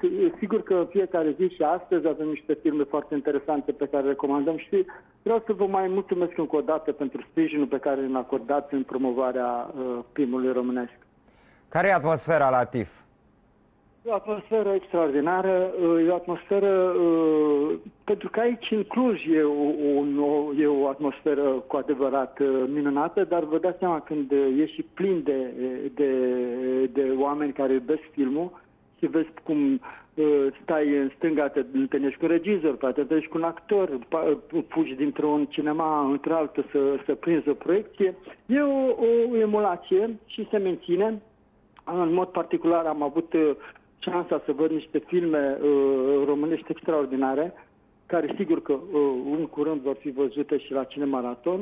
Uh, deci, cum zic, pescare are balta pește, adică e un, uh, avem ce, avem ce să, uh, ce, ce să, să sperăm, la ce să sperăm, pentru că uh, noua generație uh, lucrează, lucrează și la filme independente, și la filme făcute, mă rog, prin uh, sistem, prin CNC, lucrează și în documentar, în scurmetraj, în ficțiune, deci duduie industria, să sperăm că se vor găsi oameni și mai mulți să, care să fie cointeresați în, în această poveste frumoasă care este cinema pentru că lumea încă vibrează. Să știți că au fost săli pline, a fost, au fost Piața Unirii a fost plină la filmul românesc, de exemplu a fost, să vă dau, Moromeții 3 în premieră, deci domnul Seregulea a reușit să facă și a treia parte de Moromecii, uh, în care e vorba despre, uh, mai mult despre un biopic, să zicem, al lui uh, Marin Preda, despre data lui Marin Preda.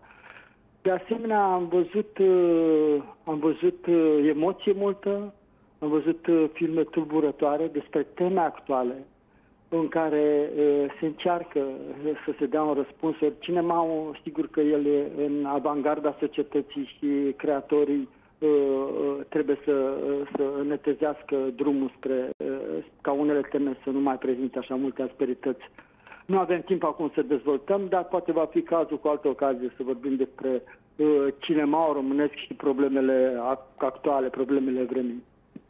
Bun, vă mulțumesc mult de tot pentru intervenție, vă mai așteptăm la, la prima news și le spun celor de acasă, le reamintesc că filmele românești se văd pe Cinemaraton. Uh, mergem mai departe, doamnelor, domnilor. Uh, Justin Timberlake a fost arestat la New York după ce a fost prins băut la volan. Cântărețul de 43 de ani a fost oprit de poliție luni noaptea. Uh, surse din poliție spun că acesta a urcat la volan după ce a petrecut cu mai mulți prieteni la un hotel din New York. Timberlake a fost pus sub acuzare pentru conducerea în stare de ebrietate și a fost eliberat din custodia poliției fără cauțiune. Cu toate acestea, el trebuie să se prezinte în instanță pe 26 iulie. Rămânem în America, unde un purceluș a pus pe jar polițiștii din California. A fugit din captivitate și a fost urmărit zeci de minute până a fost prins.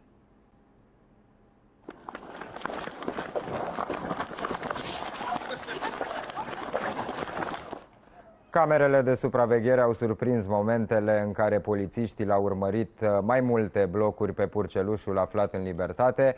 În cele din urmă a fost încolțit într-o curte.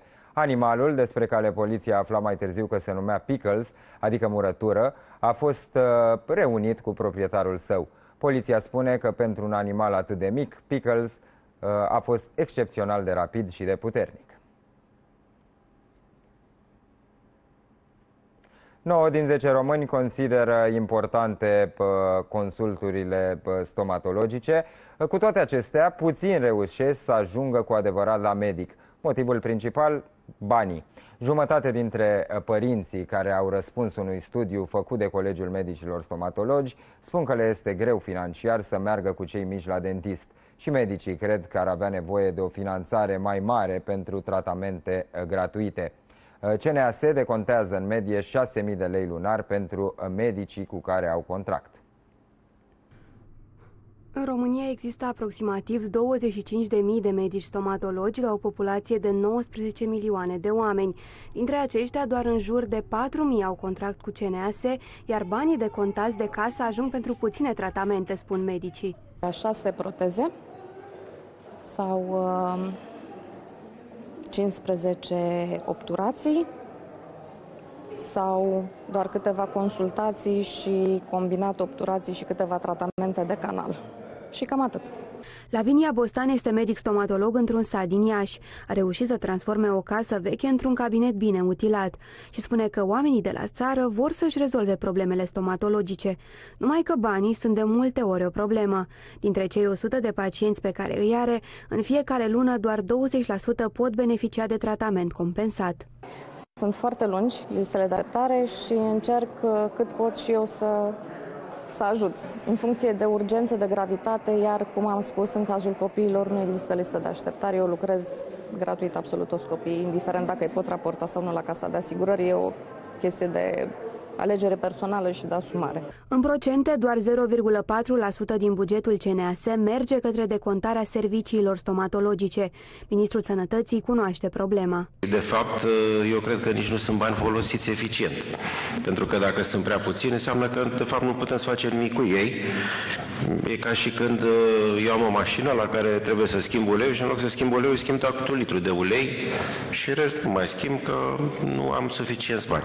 În acest context, nu e de mirare ce arată datele Studiului Național privind sănătatea orală realizat de Colegiul Medicilor Stomatologi. Observăm că cele mai des întâlnite afecțiuni ale românilor în ceea ce privește sănătatea orală sunt carile dentare. Din păcate, două treimi dintre copii și adulți prezintă carii dentare care nu sunt tratate. De asemenea, observăm că o treime dintre copii prezintă anomalii dentomaxilare, ceea ce înseamnă că au nevoie de tratamente ortodontice. Și mai grav, peste 60% dintre românii din mediul rural și aproape 53% din mediul urban au pierdut cel puțin un dinte pe care nu l-au mai înlocuit. În privința copiilor, aproape jumătate dintre părinți, indiferent că sunt de la sat sau de la oraș, spun că le este greu financiar să acopere costurile tratamentelor pentru cei mici. Teoretic, copiii ar putea fi tratați gratuit în cabinetele școlare, numai că există doar 481, dintre care aproape 200 sunt în București. Avem o dată problema de informare, avem problema financiară, avem probleme de accesibilitate. E clar că există o subfinanțare în sistem și prin uh, efectuarea acestei uh, radiografii ne dorim să punem pe masa decidenților o stare de fapt a sănătății orale a românilor. Studiul realizat pe 1500 de pacienți arată și că 52% dintre adulți se spală pe dinți de două ori pe zi, dar că 70% spun că nu folosesc ața dentară sau dușul bucal, singurele care pot îndepărta cu adevărat resturile alimentare. Reguli noi pentru oamenii care vor să devină polițiști. Tinerii care vizează la o carieră în acest domeniu nu vor mai avea voie să aibă tatuaje pe gât sau pe față. De asemenea, nu vor mai fi permise nici piercingurile la vedere, atât în cazul bărbaților cât și al femeilor. Sindicaliștii de la, de la Europol spun că noile reguli sunt un pas spre evoluție. S-a zis cu tatuajele pe gât sau pe față în cazul polițiștilor. Statutul polițiștilor ar urma să fie modificat printr-o ordonanță de urgență, așa că tinerii care vor să intre în sistem trebuie să știe că nu vor trece vizita medicală dacă au deja tatuaje pe gât sau pe față. Vor fi interzise și piercingurile. Sindicatul Europol a tras atenția, am atras atenția cu privire la faptul că în acest moment în statele unde curge apa caldă efectiv, nu mai există acest criteriu al existenței tatuajelor la încadrare. Paradoxal, în România, în ceea ce îi privește pe pompieri care sunt militari, aceștia nu au uh, această condiție la momentul în care se încadrează uh, pentru a nu avea tatuaje pe corp, așa cum uh, era anterior stipulat în statutul polițistului. Reprezentanții Europol spun că totuși este un lucru bun faptul că polițiștii au acum voie să-și facă tatuaje în orice altă parte a corpului.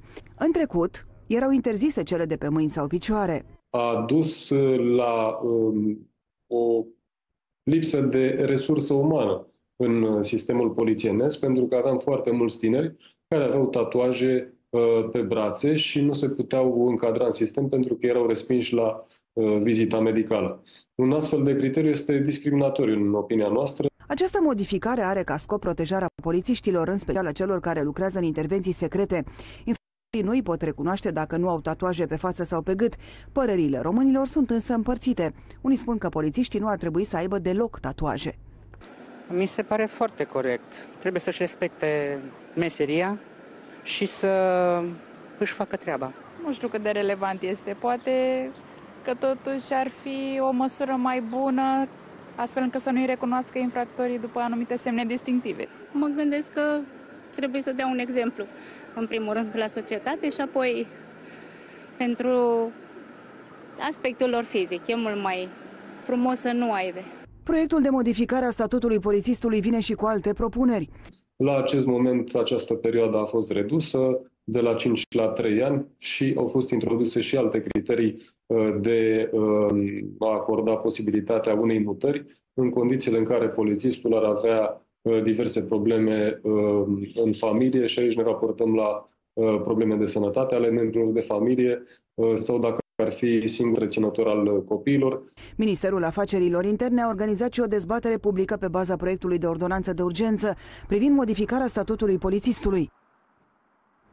Este o meserie pentru care tinerii începători sunt plătiți cu cel puțin 1000 de euro pe lună, dar pentru care aproape nimeni nu se înghesuie.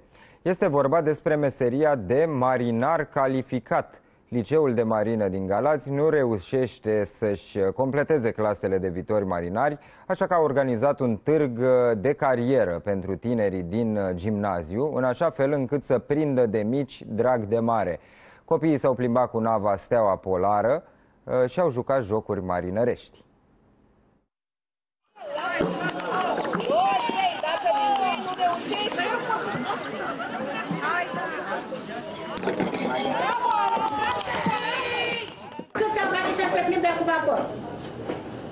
Toți. Toți. Bun. Dar uh, dintre voi sunt copii care își doresc să devină marinari? Hai, hai. Numai unul? În jur de 80 de elevi de clasa 8 au fost invitați de liceul de marină să facă o plimbare pe Dunăre și să afle mai multe lucruri despre meseria de marinar. După o școală profesională care durează 3 ani, aceștia ies de pe băncile liceului cu o meserie și un loc de muncă garantat. Am făcut și facultate și tot felul de cursuri și am ajuns și eu să lucrez ca marinar pentru că nu mi-am găsit job după ce am terminat după ce am terminat facultatea, deși aveam atâția ani de școală. Nevoia de marinari este foarte mare, însă tinerii nu sunt atrași de această meserie. Un strigă de ajutor din partea tuturor firmelor, pentru că uh, Personalul navigant este un personal, din păcate, îmbătrânit. Dacă au terminat 14 elevi, 14 elevi au fost angajați. Acești elevi termină liceul și își ating ținta din punct de vedere profesional, șef de echipaj, ajung până la comandant de navă, mă refer la uh, ape interioare, fără să aibă nevoie de bacalaureat. Cursurile școlii profesionale sunt suficiente pentru o meserie în domeniul navigației pe mare, iar firmele se bat pentru noi recruți. Unii elevi sunt luați în practică de pe băncile liceului și plătiți cu burse la nivelul salariului minim pe economie. Aceeași firmă a venit în sprijinul elevilor noștri cu uh, premii pentru toți elevii de la clasa a 9 a 10 a 11 în valoare de 300 de lei cu condiția să nu aibă nicio absență și notele lor să fie de 7, 8, 9 și 10 la obiectele de specialitate.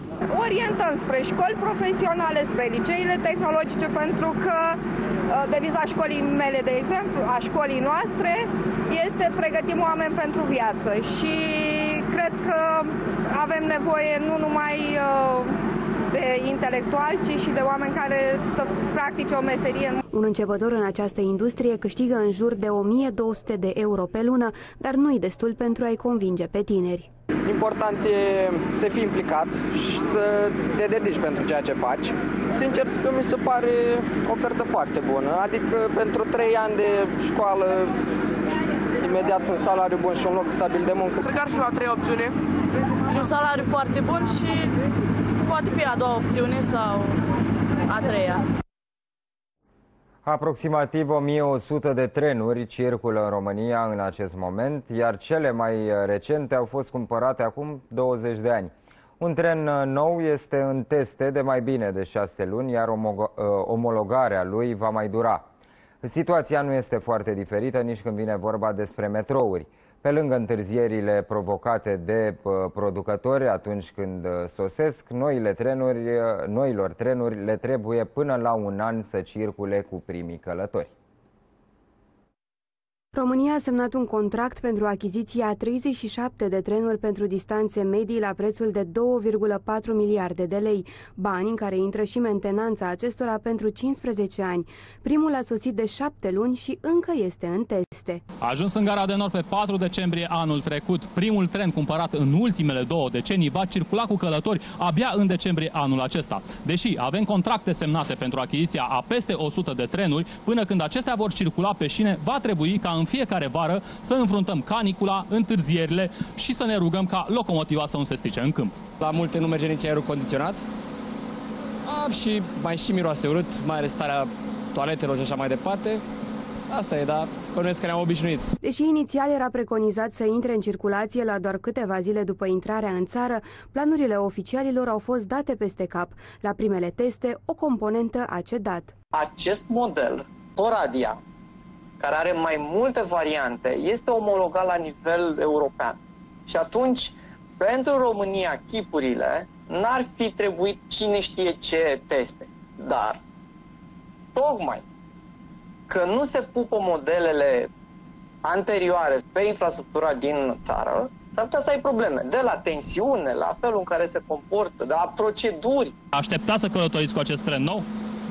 Așteptăm, normal, că toată lumea așteaptă să să călătorească mai bine. Vor fi, vor fi diferențe mari. Adică mă gândesc că o fi condiții ca în Occident. Ar fi bine, dacă, mai ales dacă n-ar avea treptele astea înalte și uh, culoare foarte înguste. O situație similară s-a întâmplat și cu primele garnituri noi de metrou.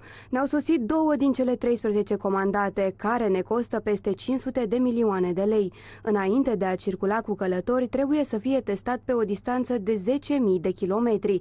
Alimentarea cu energie electrică le-a dat bătăi de cap oficialilor Metrorex. Acea defecțiune a fost, de fapt, o chestiune de alimentare cu energie electrică și siguranțele uh, nu erau uh, uh concepute pentru uh, energia electrică pe care noi o furnizam. S-a și rezolvat acea problemă, trebuiau doar calibrate siguranțele. În următorii 5 ani, aproape 200 de trenuri noi ar trebui să intre în România. Vorbim de 120 de trenuri deja sub contract Uh, și în uh, această vară uh, sper că chiar în luna iulie vom lansa licitațiile pentru încă 55 de trenuri. Doar că până ca românii să se bucure de noile trenuri, ele trebuie să treacă prin multiple teste, mai ales în condițiile în care infrastructura din țara noastră este deficitară în mai multe zone.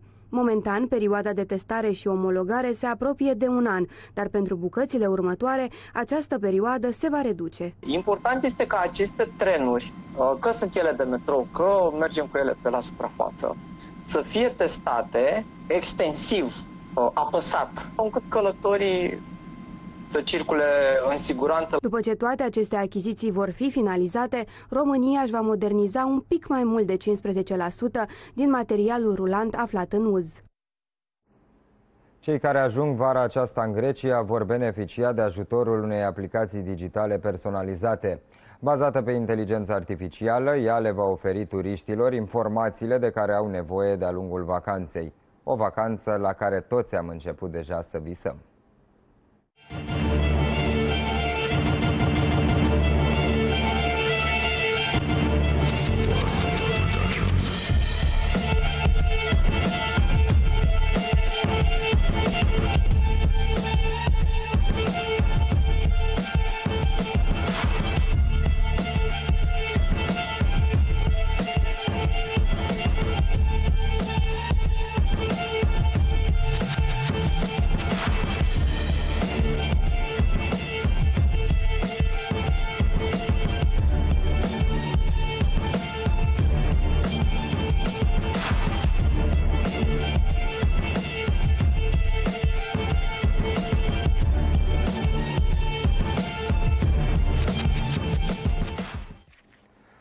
punem punct acestei ediții, doamnelor, domnilor. Vă mulțumesc pentru atenție și vă invit să rămâneți alături de Prima News pentru că urmează emisiunea Zona Liberă, moderată de Ovidiu Nahoi. Zi frumoasă în continuare, numai bine!